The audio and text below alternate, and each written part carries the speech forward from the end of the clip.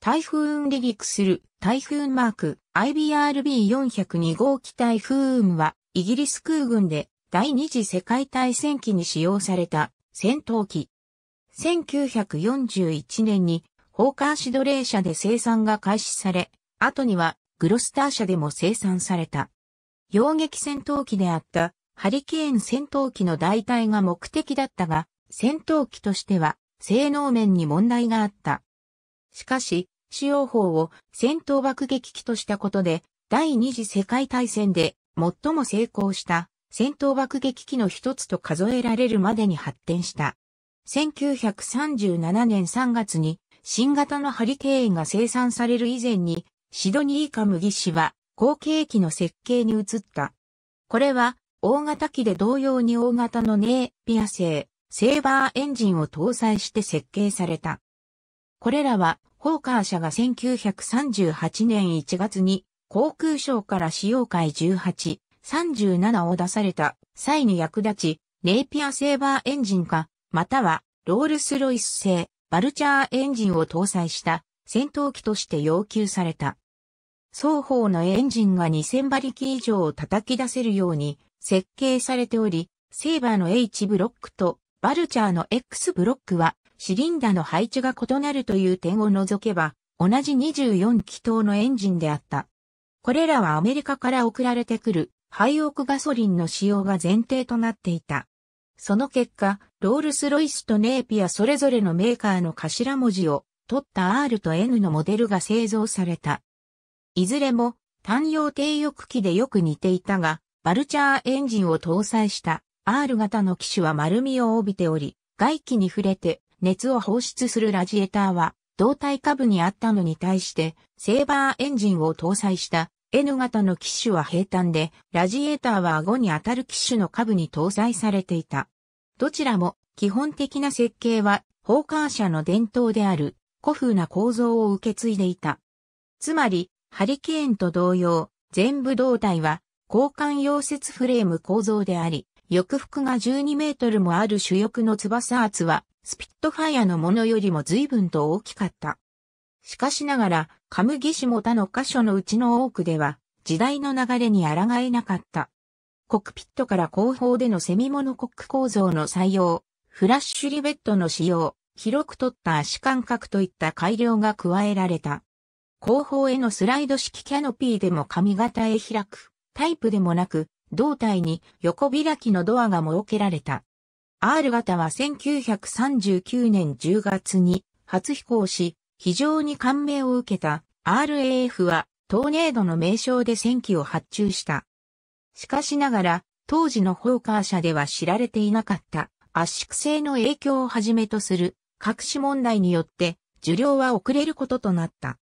その上、R 型の上昇性能は失望すべきものであることが判明した。これはトーネードが RAF が求めていたようなスピットファイアを代替する洋撃機にはなり得ないことを意味した。現在台風運として知られる N 型は1940年2月に引き渡された。RAF はこちらのモデルも大量に発注したが、生産は当時製作する機種を持たなかったグロスターエアクラフト社に移されることになった。R 型と同様 N 型でも間もなく問題が表面化した。その問題とは例えば、エンジンの発する振動によって主翼の外皮がめくれるといったものだった。とうとう RAF はトーネードと台風運量型に関する作業の一切を1940年5月に凍結したが、これによってバトルオブブリテンの間ホーカー社はハリケーンに集中できることとなった。これが台風運計画が消えそうになった最初であった。小規模の開発は継続され、胴体の一層の流線形化と、より薄い主翼への乾燥、それに数種の大型星型エンジンの採用が起とされた。10月に RAF に対する脅威が弱まると、元の通りトーネードと台風計画の作業続行が認められた。最初の生産型トーネードは1941年の前期に引き渡され、完全武装の実地試験で時速 684km という前例のない高速を発揮したが、最後のトーネードとなった。生産ラインが構築されつつあったまっさにその時、突然ロールスロイス社がバルチャーエンジンの開発計画を中止してしまい、トーネードはエンジンを得られなくなってしまった。台風運の型は生産を保証する十分な性能があり、最初の生産型である台風マーク IA はブローニング 7.7mm 機関銃12丁を搭載し、1941年5月に引き渡された。しかし、間もなく武装をイスパの 20mm 機関砲に変えたマーク IB に生産は切り替えられた。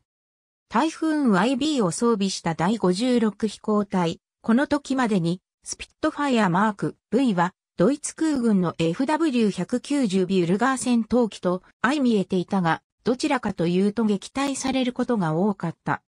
FW190 に対抗するため台風運は飛行隊への配備を急がれたが、間もなくこれは大変な間違いだと分かった。明らかな構造的欠陥から、急降下からの引き起こし時にビブが折れやすいことが判明したが、FW190 はこの引き起こし戦術を多用したのだった。台風計画は再度存続の危機にさらされた。事故により生還できたパイロットはたった一人であったが、昇降打のマスバランスが金属疲労により破壊し、昇降打がフラッターを起こすことが原因と分かった。応急措置として空中分解箇所である胴体飛び部の結合部の周囲に長方形の補強板が数枚リベットで打ち付けられた。この継ぎ目は以降の台風核派生型でもそのままであった。さらに、一酸化炭素濃度の高い排気がコクピットに漏れるという問題により、台風のパイロットは低高度の飛行でも酸素マスクを使用しなければならなかった。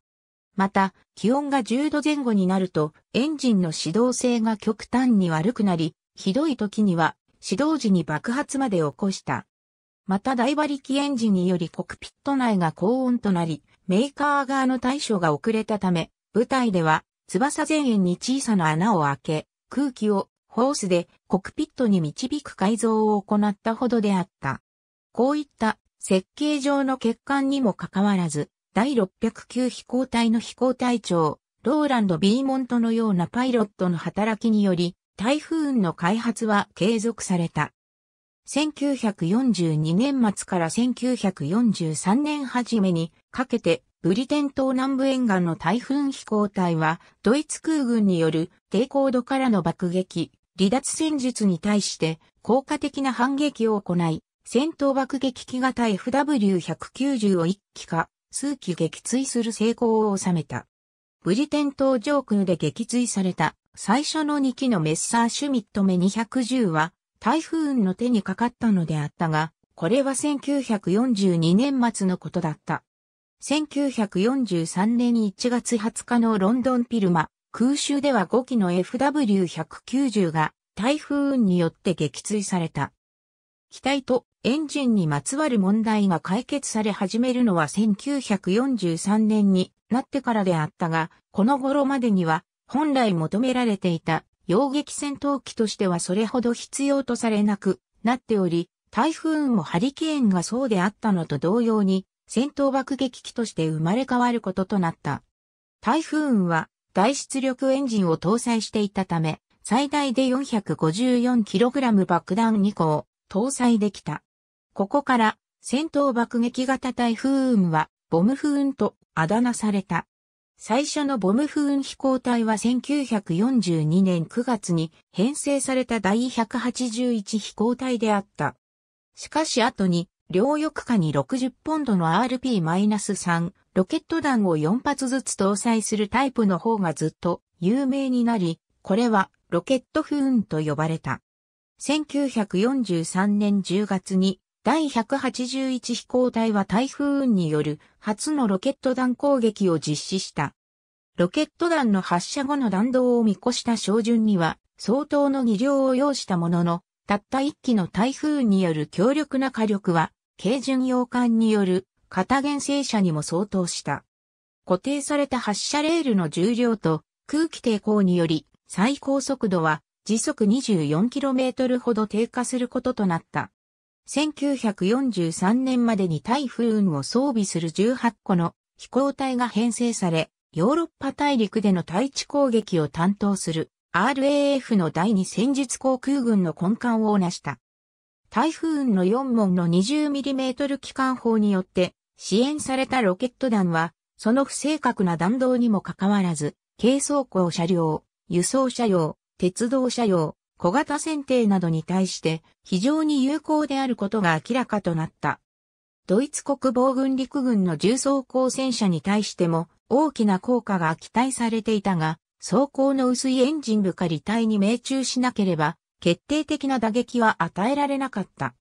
ノルマンディの戦いの後で行われた戦車の破壊状況調査では、空中発射ロケット弾の命中率は、たったの4%に過ぎなかったことが分かった。台風マーク IB は、1943年末までに、プロペラの4羽化と類的型キャノピーへの変更を施され、ノルマンディの戦い以降の1944年の戦闘でも顕著な成果を上げた。1944年6月の作戦決行日に RAF には台風マーク IB を装備した26個飛行隊があった。上陸前の北西ヨーロッパ奥深くにおいての通信、輸送目標に対する連続爆撃と上陸を終えた連合国軍地上部隊への直接支援とによって、台風雲は RAF で最も効果的な戦術攻撃機であることが証明された。上陸拠点からジョージ・パットンが指揮する部隊の撤退に見せかけたコブラ作戦で、第二戦術航空軍は8月7日のドイツ陸軍によるモルタンからの反撃を撃退し、ドイツ陸軍の車両約81台を破壊するか損傷させた。ビレでは、イギリス陸軍が主勢に回っている間、台風は1日で294総手の出撃をこなし、合計で2088発のロケット弾と80トンの爆弾が使用された。1944年10月24日、ドルドレヒトの施設で、ドイツ陸軍第15軍の会議が行われているところを146航空団の台風雲が攻撃し、参謀将校17名と、その他の士官55名が死亡した。戦術偵察任務のため台風海 FR、IB が1945年の初めに開発された。この FR、IB は、機関砲2門を撤去し、海24カメラ3台を搭載した。1機が AI レーダーを搭載して、コクピットを回収した夜間戦闘機の試作機に改造された。台風雲はグロスター社のみによって3300機が生産された。ホーカー社は台風雲の改良型である台風2を開発したが、これはマーク、I と大きく異なったため、事実上別の機種、ホーカーテンペストとなった。台風による最高撃墜数は、ジョン・ロバート・ボールドウィン空軍中佐が保持しており、彼は1942年から1945年にかけて15機を撃墜したと主張している。現在、完全な状態の台風雲は、イギリス空軍博物館で MN235 の1機のみが現存している。ホーカー台風出展、イギリス軍用機の全貌ジャル、マスバランスとフラッター航空情報編集部編、第二次大戦イギリス軍用機の全貌、竹縄当社館1961年。ありがとうございます。